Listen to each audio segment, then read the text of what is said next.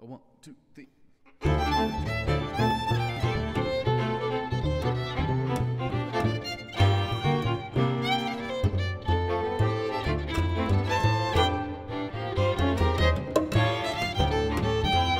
This group started actually as a dream in my mind of players who could all play jazz and classical music. Those players weren't around in string quartets.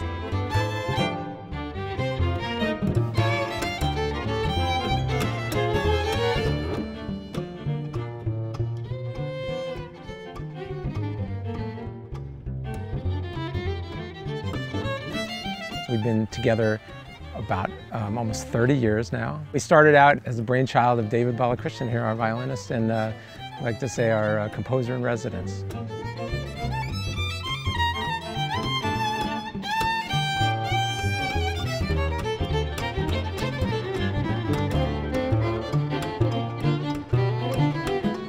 One of the things I love about Turtle Island is that we have the element of improvisation in the group. It's a central aspect of what we do.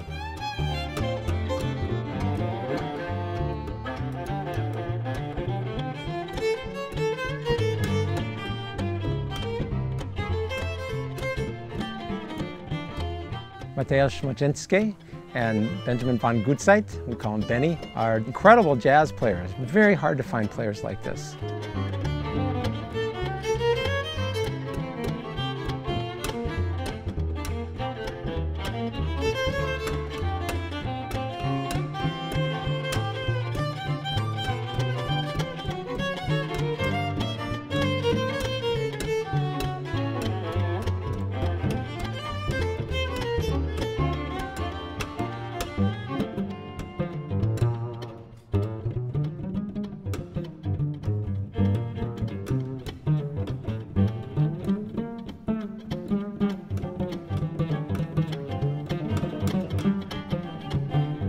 One of the primary important ingredients in our success is the work of Mark Summer, our cellist. He's found a way to combine the roles of a jazz bass player and a classical cellist. If you hear him play, it's like hearing Ron Carter and Yo-Yo Ma put in one person.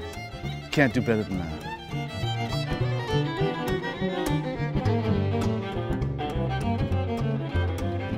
One of the things about this record that's really special is it celebrates the music of three composers. Paquito D'Rivera, amazing Cuban-American composer. We love his music. Um, Bob Mintzer of the Yellowjackets, who writes, has a big band and just tremendous composer. And our own David Balakrishnan, who of course started this group and came up with all the ideas of, of what it was going to be.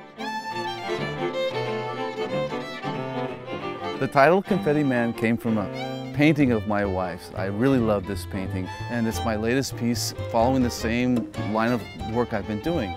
Music that combines the music of Indian music, jazz, classical music, and bluegrass, the four food groups. How can I make a storyline that goes beyond the elements of those styles and has its own identity?